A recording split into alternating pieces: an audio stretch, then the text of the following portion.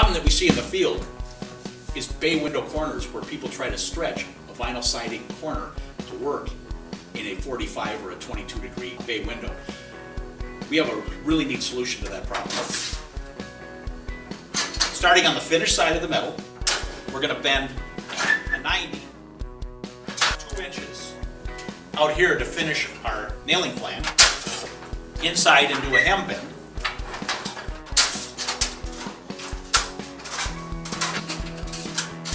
We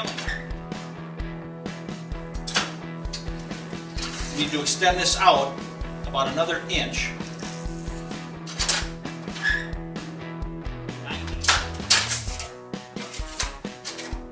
Hem.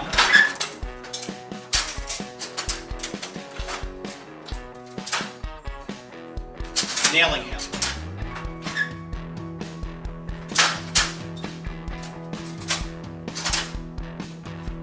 Just going to tweak that side about 22 degrees.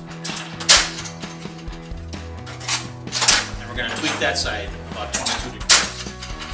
Fit and finish for a bay window corner, siding and siding.